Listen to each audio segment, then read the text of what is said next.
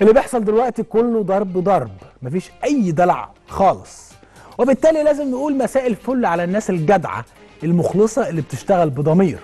مساء الفل على الوحوش اللي عاملين رعب لكل الفاسدين والمرتشين في مصر دلوقتي.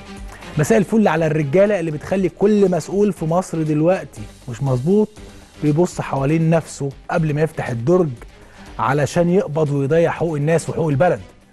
بعد كل النشاط والمجهود اللي بتبذله هيئة الرقابة الإدارية في ملاحقة الفاسدين والمرتشين في أجهزة الدولة من حقنا دلوقتي نلعب شوية في كلمات الأغنية الشهيرة بتاعت قولوا للي اكل الحرام من حقنا دلوقتي نخلي الأغنية دي شعار هذه المرحلة وتبقى كلماتها كالآتي قولوا للي اكل الحرام يخاف بكرة رجالة الرقابة الإدارية هيجيبوه ولحنها زي ما تحب. خلينا نكون منصفين إنه هيئة الرقابة الإدارية بكل فرد فيها بقوا من مسببات السعادة بالنسبة للمواطن المصري النهارده.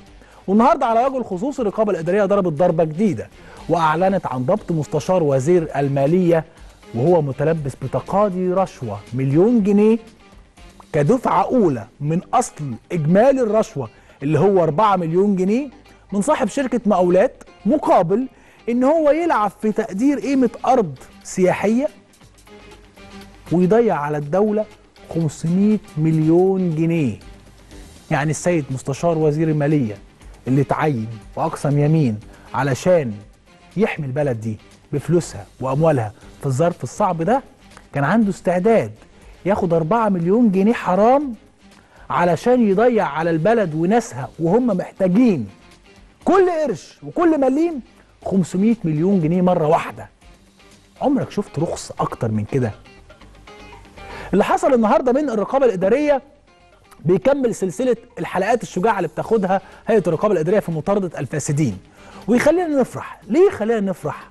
تعال ناخدها مع بعض نقطة نقطة.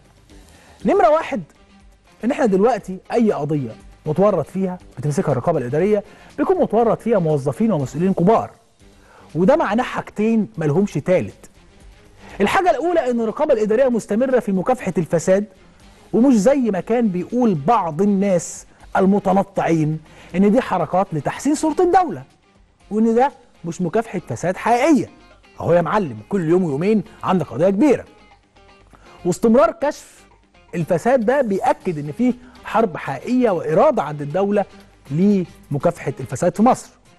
الحاجة الثانية إن الرقابة الإدارية وهي بتشتغل ضد الفساد بقى واضح جدا بالنسبة لك وبالنسبة لي وبالنسبة لكل المواطنين في مصر إن هي بتشتغل ضد الفساد دون أن تنظر لأسماء الفاسد ولا اسم المرتشي. كان وزير بقى كان مستشار كان بيشتغل في جهة قضائية هيتجاب هيتجاب.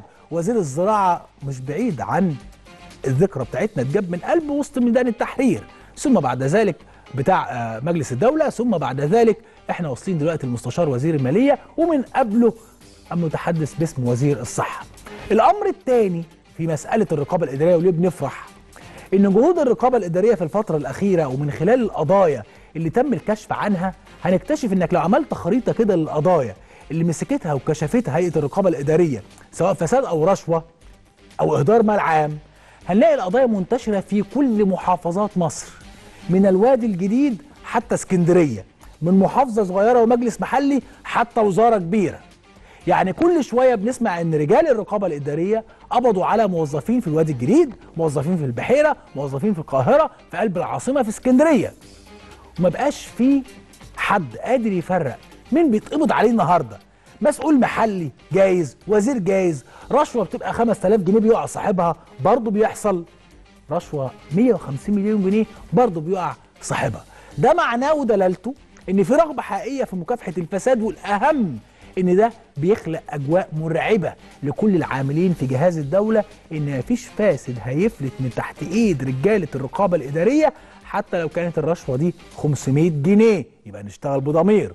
الامر الثالث في موضوع الرقابة الادارية ان الجهد اللي بيبذله رجال هيئة الرقابة الادارية الحقيقة بيتم في هدوء.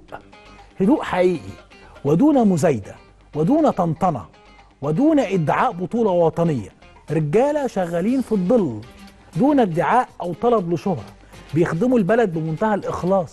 عشان كده كل قضية بتكشفها الرقابة الإدارية تستدعي إننا نفرح. تستدعي إن إحنا نكون فخورين ومطمنين إن عندنا مؤسسة شغالة بالتنظيم والتفاني والتجرد والتكتم ده. عموما شكرا لرجال الرقابة الإدارية. استمروا لأن مصر كلها في ظهركم. آسف. أقصد المخلصين في مصر كلهم هيكونوا في ظهركم. لحد ما نشوف تفاصيل هذه القضية ومين هو مستشار وزير المالية ونتابعها مع حضراتكم.